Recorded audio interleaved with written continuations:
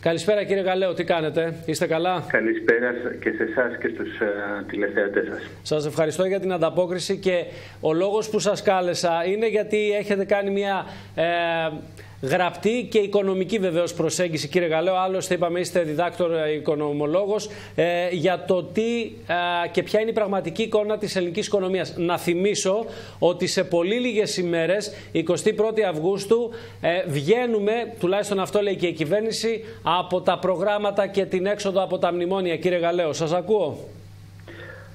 Είχα τις ε, επιφυλάξεις μου με, αυτά, με τις εξαγγελίες της ε, κυβέρνησης, δυστυχώς για εμάς, για τους Έλληνες, για την Ελλάδα και γι' αυτό κάθισα, ε, οι επιφυλάξεις μου βασιζόταν κυρίως στη διεύρυνση του χρέους. Έχουμε φτάσει αυτή τη στιγμή και είναι το υπαριθμό ένα θέμα το οποίο με απασχολεί, το χρέος να είναι τόσο όσο ήταν και όταν μπήκαμε στα μνημόνια. Δηλαδή το 2011-12 ναι. και πριν το PSI ήταν αυτό το χρέος. Με το PSI καταφέραμε και το ρίξαμε αρκετά. Βέβαια δεν πέτυχε 100% αλλά παρόλα τα αυτά φτάσαμε γύρω στα 300 ε, δις ε, χρέος ναι. από 368 και είχαμε μπει σε μια πορεία στην οποία αυξάνε το μένω, αλλά σιγά σιγά.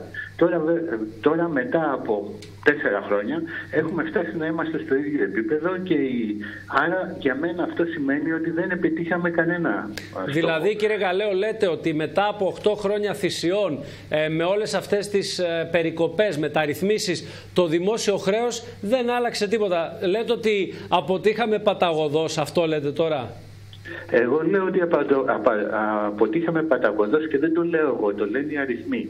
Όταν, το, όταν γίνονται όλες αυτές οι θυσίες για να μπορέσει το χρέος να μειωθεί ώστε να γίνει βιώσιμο και μετά από 8 χρόνια, αφόσον τις έχουμε κάνει, έχουμε πουλήσει κομμάτια από τον εθνικό πλούτο, έχουμε παραχωρήσει εθνικές κυριαρχίες, κάνουμε στην ουσία αυτά που μας λένε οι ξένοι ναι. και φτάνουμε να έχουμε το ίδιο δημόσιο χρέος όπως και πριν μπούμε, νομίζω ότι είναι μια τέλεια αποτυχία. Δεν ξέρω τι νομίζετε εσείς και τη αλλά για μένα είναι τέλεια αποτυχία. Προφανώς, επειδή έχετε τα οικονομικά χαρακτηριστικά, το ερώτημα που προκύπτει είναι, κύριε Γαλέο, επειδή ε, η χώρα μας είναι μια πιο ιδιαίτερη περίπτωση, αλλά προφανώς και άλλες χώρες και πολύ μεγάλες οικονομικές δυνάμεις όπως η Αμερική δοκιμάστηκαν. Δεν υπάρχει ένα μοντέλο το οποίο θα μπορούσε να μας βγάλει από αυτή την κρίση χωρίς μεγάλους κραδασμούς. Δηλαδή στις Ηνωμένες Πολιτείες. Θυμάμαι, είχαν και εκεί μια οικονομική κρίση. Σίγουρα είναι διαφορετικά τα οικονομικά μεγέθη, αλλά δεν μπορούσαμε να ακολουθήσουμε μια πεπατημένη.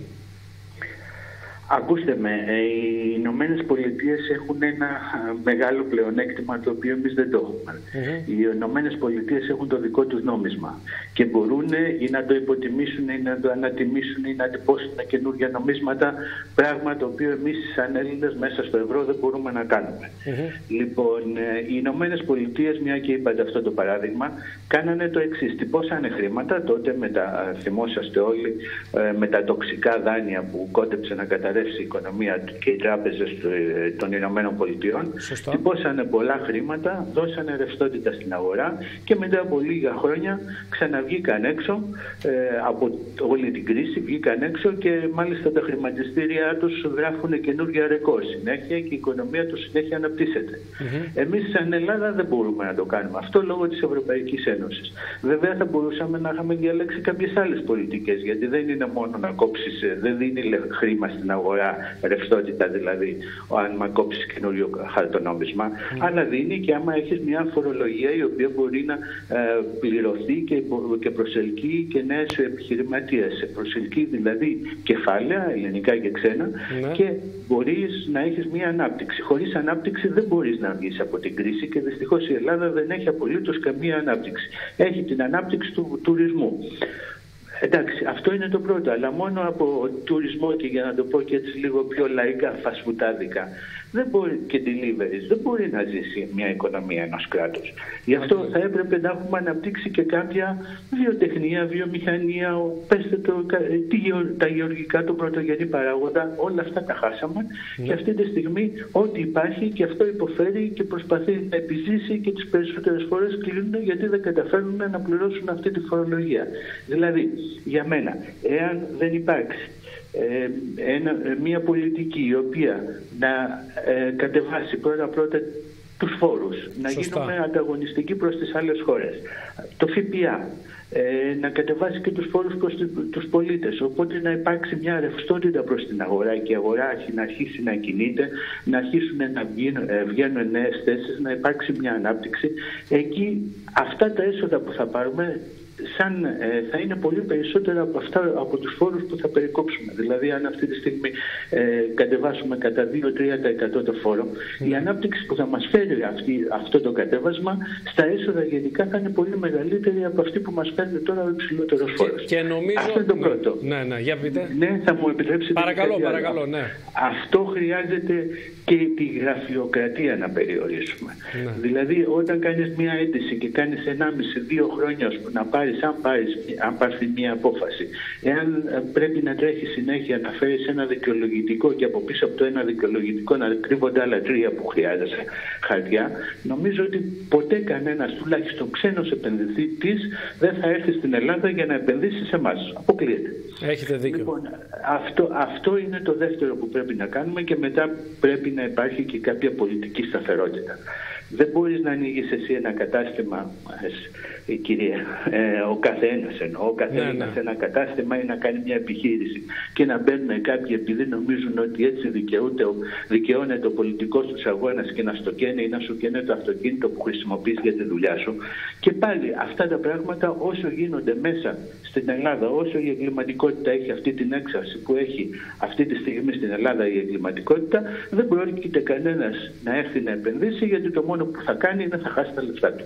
Μάλιστα. Άρα, έτσι όπως το περιγράφετε, θα μην περιμένουμε κάτι συγκλονιστικά μετά την 21η Αυγούστου, κύριε Γαλέο, για να πάμε σε πρακτικά και ρεαλιστικά ζητήματα που αφορούν την τσέπη μας και την καθημερινότητά μας. Και ως ξαναλέω διδάκτορ ε, οικονομολόγος στο Πανεπιστήμιο της Ζήριχη, έτσι. Έχετε αρκετή γνώση και εμπειρία. Τι να περιμένουμε λοιπόν μετά την έξοδο από τα μνημόνια; Ε, θα μου επιτρέψετε να πω πρώτα κάτι άλλο. Επειδή αυτό το δημόσιο χρέος είναι τόσο μεγάλο, κάθισα και ανέλησα ε, όλα τα στοιχεία που έδωσε το Υπουργείο, Παιδείας, ε, το Υπουργείο Οικονομίας συγγνώμη, για, για το πώς πηγαίνει η ελληνική οικονομία ναι. και επίσης ανέλησα και τον προϋπολογισμό το οποίο κάνει αυτή τη στιγμή το Υπουργείο Οικονομίας για το επόμενο χρόνο.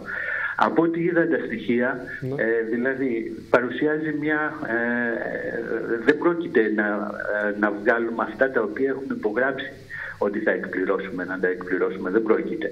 Δηλαδή, δεν Είναι αδύνατον, λέτε. Το πλεόνασμα το, το 3,5% δεν πρόκειται να έχουμε ε, ε να μην κοπούν οι συντάξεις. Δεν πρόκειται όλα αυτά τα θέματα που θέλουμε, που απασχολούν την ελληνική κοινότητα, ναι. ε, την, την Ελλάδα μάλλον, ε, δεν πρόκειται να δουν ένα τέλος. Οπότε καταλαβαίνετε τι θα συμβεί. Εάν δεν βγάλουμε το πλεόνασμα το 3,5% γιατί αυτή τη στιγμή και οι πράξεις είναι λιγότερες από αυτές που θα θα έπρεπε να είναι σύμφωνα με τα στοιχεία του Υπουργείου Οικονομικών για το πρώτο εξάμεινο του 2018, αλλά και οι δαπάνες είναι πολύ μεγαλύτερες. και μάλιστα πρόκειται για δαπάνες ε, μισθοδοσίας, δηλαδή επειδή οι μισθοί αυτή τη στιγμή δεν αυξάνονται, ναι. θα πρέπει αυτοί οι άνθρωποι να ε, παίρνουν καινούριους υπαλλήλους, καινούριους δημόσιους υπαλλήλους, κάνοντας έτσι ένα στρατό ψηφοφόρων. Λοιπόν, εφόσον έχουμε αυτά και τα δύο παρατηρούν μια τέτοια απόκληση, ναι. δηλαδή και τα έσοδα είναι μείον, αλλά και τα έξοδα είναι περισσότερα από όσα θα έπρεπε να είναι, ε, Πιθανολογώ ότι αν συνεχιστεί αυτή η κατάσταση, που το πρώτο εξάμεινο συνήθως είναι ενδεικτικό για όλη την πορεία, πορεία της οικονομίας τον πρώτο χρόνο, το, όλο τον χρόνο, ε, εάν, δεν, ε, εάν συνεχίσουμε αυτόν τον ρυθμό, δεν θα έχουμε το πλεόνασμα το 3,5%. Τι σημαίνει αυτό, Ότι και οι, ε, οι συντάξεις θα κοπούν, ότι και καινούργια μέτρα θα πρέπει να πάρουμε και ότι ακόμα οι αγορές θα έχουν μια δυσπιστία. Γιατί φανταστείτε τώρα, βγαίνει για κάποιος για πρώτη φορά μετά από 8 χρόνια πάλι στις αγορές και δεν μπορεί να κάνει αυτά τα οποία έχει υπογράψει, τα οποία έχει υποσχεθεί. Οπότε θα είναι, ξέρετε, πολύ δύσκολο για την Ελλάδα. Προφανώς. Ε, η αξιοπιστία θα μειωθεί με ό,τι αυτό συνεπάγεται. Λογικό είναι, κύριε Γαλέο. Ε, συνεπάγεται με υψηλότερα επιτόκια συνήθως και πρόσθετα μέτρα. Κύριε Γαλέο, για να ολοκληρώσουμε την ε, κουβέντα, γιατί θα κάνουμε συχνά τέτοιες ε, τηλεοπτικές επικοινωνίες. Ε, βλέπετε με την έξοδο από τα μνημόνια, βέβαια, είχαμε και τις ε, φωνικές πυρκαγιές να συνθέτουν θέτεται ένα παζλ πρόωρων εκλογών ε, ή ε, είναι στον ορίζοντα που λέει κυβέρνηση κοντά το Μάιο. Παρότι η κυβέρνηση ισχυρίζεται κοντά το Μάιο, εγώ πιστεύω ότι θα γίνουν προηγουμένως και μάλιστα μέσα στο τρέχον έτος. Ε, ο λόγος είναι ότι ε, δεν μπορούν μετά το Μάιο, δηλαδή να βγουν τώρα από τα μνημόνια και στο τέλος ε, του, του, χρόνου να αναγκαστούν να περικόψουν τις συντάξεις, να βγάλουν και να νομοθετήσουν καινούργια μέτρα για το 2019 και να πάνε μετά στις εκλογές. Κάτι τέτοιο πιστεύω ότι θα ήταν παράλογο. Γι' αυτό ε, ε, θα γίνουν οι εκλογές μάλλον μετά τις εκλογές του, τη, της Βαβαρίας στη Γερμανία, του κρατηδίου της Βαβαρίας μέχρι, μέχρι το Δεκέμβριο. Κάπου εκεί τις εντοπίζω. Βέβαια, ξέρετε, οι εκλογές εξαρτώνται τόσο από το κύριο Τσίπρα, είναι ο μοναδικός ο οποίος μπορεί αυτή τη στιγμή να πει θα κάνουμε εκλογές τότε, αλλά και ίσως από τους ξένους. Πότε οι ξένοι θα τους τραβήξουν το χαλί κάτω από τα πόδια. Κύριε Καλέο, σας ευχαριστώ πολύ για την uh, τηλεφωνική επικοινωνία.